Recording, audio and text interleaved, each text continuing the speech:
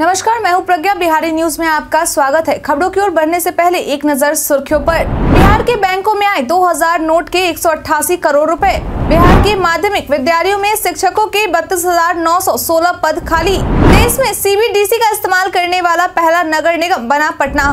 Finance कंपनियाँ व bank नहीं जब्त कर पाएगी गाड़ी। क्वालिफायर एक में डॉट बॉल की जगह दिखा पेड़ का इमोजी। इसके साथ ही बढ़ते हैं शाम तक की बड़ी खबरों की ओर विस्तार से।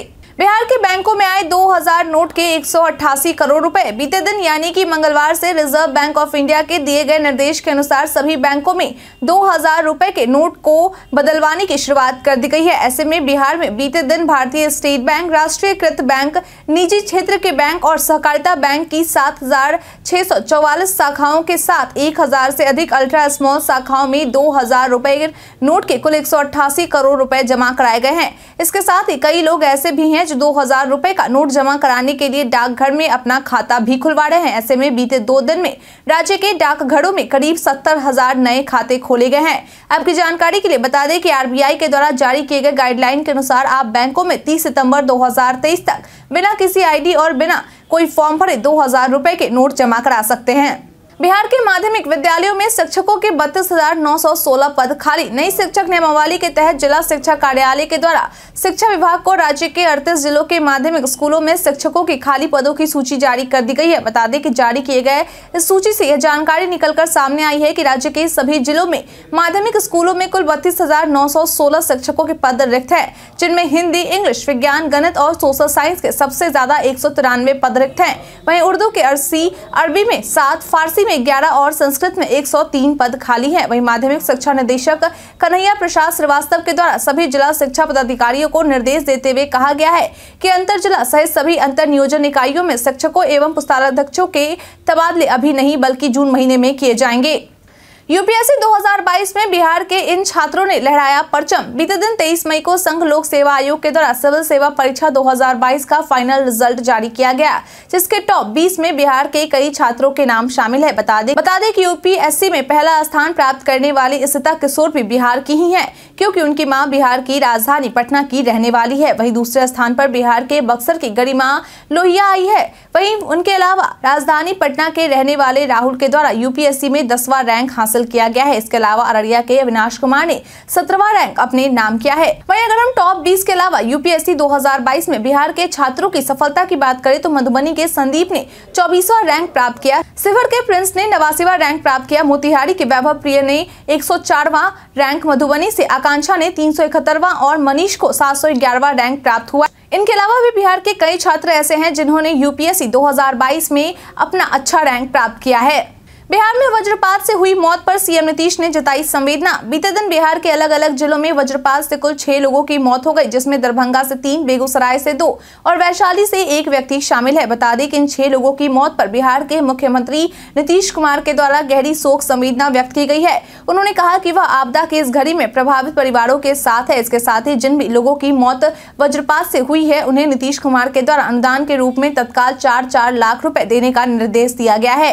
इसके अलावा मुख्यमंत्री मुख्यमंत्री के द्वारा सभी से अपील भी की गई है कि खराब मौसम में पूरी सतर्कता बरते और साथ ही खराब मौसम होने पर वज्रपात से बचाव के लिए आपदा प्रबंधन विभाग द्वारा समय समय पर जारी किए गए सुझावों का पालन करें और खराब मौसम के दौरान घर में सुरक्षित रहें। इसके अलावा मुख्यमंत्री के द्वारा सभी से अपील भी की गई है कि खराब मौसम में पूरी सतर्कता बरते और साथ ही खराब मौसम होने पर वज्रपात से बचाव के लिए आपदा प्रबंधन विभाग द्वारा समय समय पर जारी किए गए सुझावों का पालन करें और खराब मौसम के दौरान घर में रहें। बिहार पुलिस के चक्र में एक क्लिक में खुल जाती है बदमाशों की कुंडली। बिहार में अपराधियों का पुलिस से बचना मुश्किल हो गया है। कई बार ऐसा होता है कि पुलिस की गिरफ्त में आए अपराधी खुद को निर्दोष बताकर बचने की कोशिश करते हैं, लेकिन बता दें कि अब बिहार पुलिस के पास एक ऐसा मोबाइल ऐप है जिसकी मदद से सिर्फ़ एक क्लिक से अपराधी की जन्म कुंडली सामने आ जाती है। बता दें कि हम जिस ऐप की बात कर रहे हैं, उसका नाम चक्र ऐप है, जिसमें किसी भी आपराधिक मामलों को लेकर जेल में गए अपराधी की सारी जानकारी मौजूद होती है। आपकी जानकारी के लिए बता दें कि इस ऐप का निर्माण पुलिस मुख्यालय के द्वारा दो वर्ष पहले किया गया था। वही इस ऐप में न केवल अपराधी से जुड़ी सारी जानकारी, बल्कि अपराधी की तस्वीर भी मौजूद होती है। पुलिस विभाग के अनुसार इस ऐप का इस्तेमाल आम लोगों के द्वारा नहीं किया जा सकता, यह केवल पुलिस विभाग के लिए है।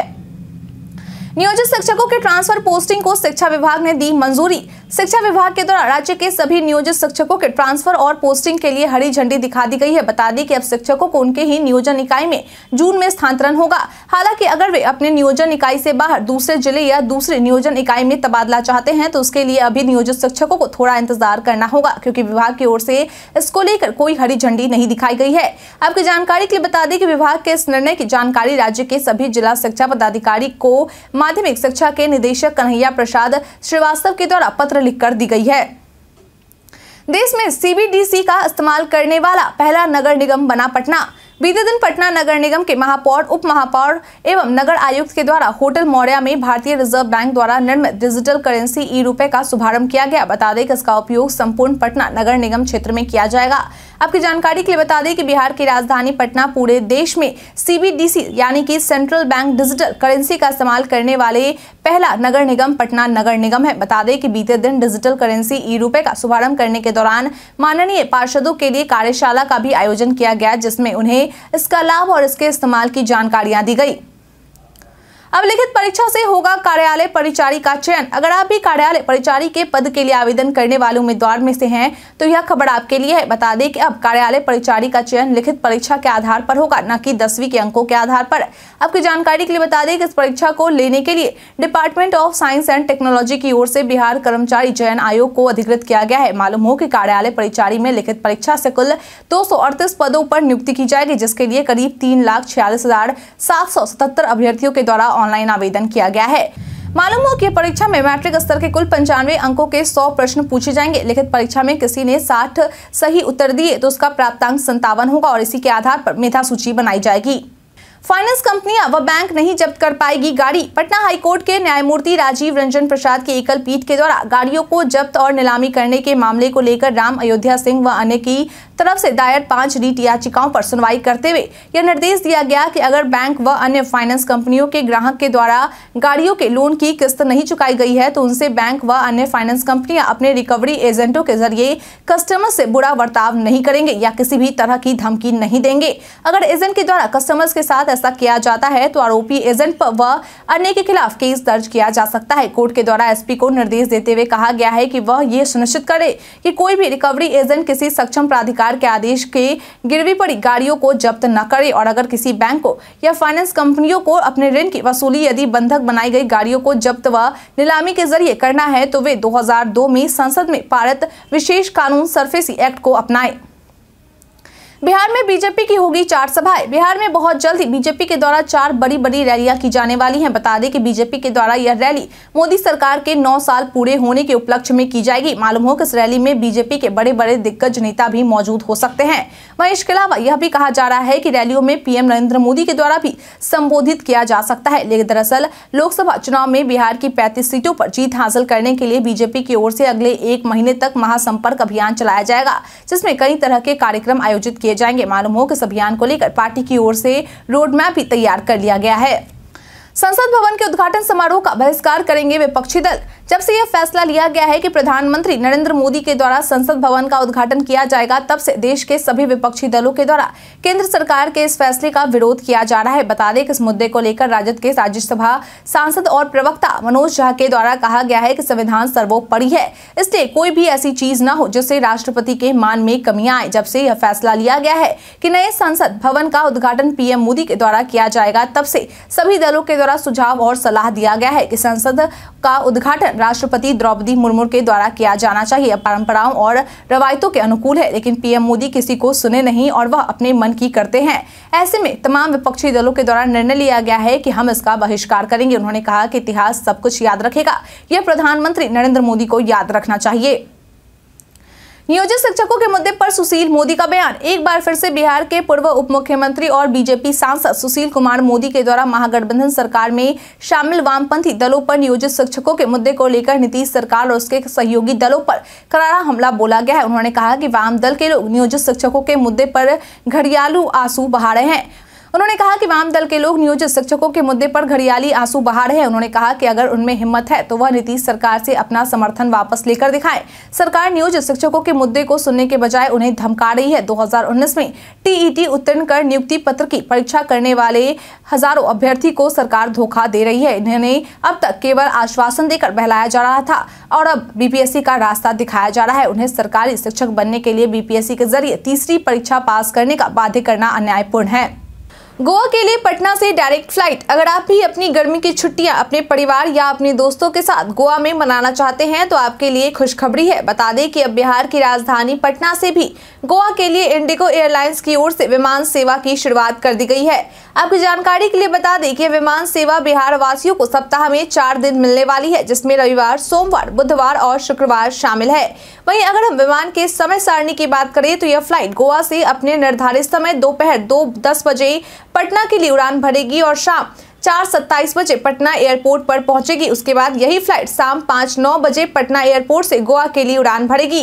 वहीं बुधवार को यह फ़्लाइट मोपा एयरपोर्ट से सुबह नौ पैंतीस बजे उड़ान भरेगी और बारह बीस बजे पटना पहुंचेगी। उसके बाद यही फ़्लाइट वापसी में चार तीस बजे उड़ान भरेगी और रात नौ पैंतीस बजे मोपा एयरपोर्ट पहुँचेगी। वहीं अगर इसके किराए की बात करें तो इसका किराया सात हज़ार पाँच सौ से लेकर तेरह हज़ार के बीच निर्धारित किया गया है।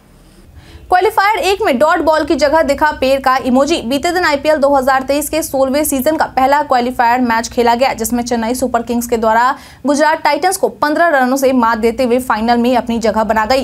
लेकिन बता दें कि इस मैच में लाइव स्ट्रीमिंग के दौरान स्क्रीन पर डॉट बॉल की जगह पेड़ की इमोजी दर्शकों को देखने के लिए मिल रही थी। बता दें कि ऐसा इसलिए हो रहा था क्योंकि बीसीसीआई के द्वारा क्वालिफायर मैच में एक खास योजना बनाई गई थी, जिसकी लोग भी जमकर तारीफ़ कर रहे हैं। मालूम हो कि बीसीसीआई ने योजना बनाई थी कि आईपीएल 2023 प्लेऑफ में फेंकी गई हर डॉट बॉल पर उनके द्वारा 500 पेड़ लगाए जाएँगे। इसी के तहत बीते दिन ब्रॉडकास्टर स्पोर्ट्स स्टार के द्वारा क्वालिफायर मैच में डॉट बॉल की जगह पेड़ की इमोजी दिखाई गई थी। आपकी जानकारी के लिए बता दें कि आज आईपीएल 2023 के एलिमिनेटर मुकाबले में एलएसजी और एमआई के बीच शाम साढ़े बजे एम ए चिदम्बरम स्टेडियम में भिड़ंत होने वाला है।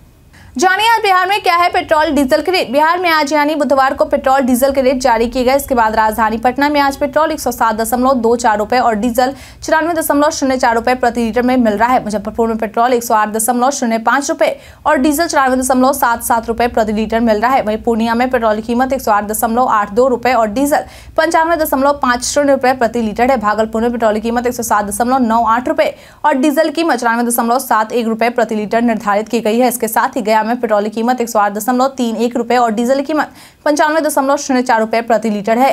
बता दें कि बिहार में पेट्रोल का रेट सबसे ज़्यादा किशनगंज में है, जहाँ पेट्रोल एक सौ नौ दशमलव छह शून्य रुपए प्रति लीटर और डीजल छियानवे दशमलव दो तीन रुपए प्रति लीटर की दर से मिल रहा है।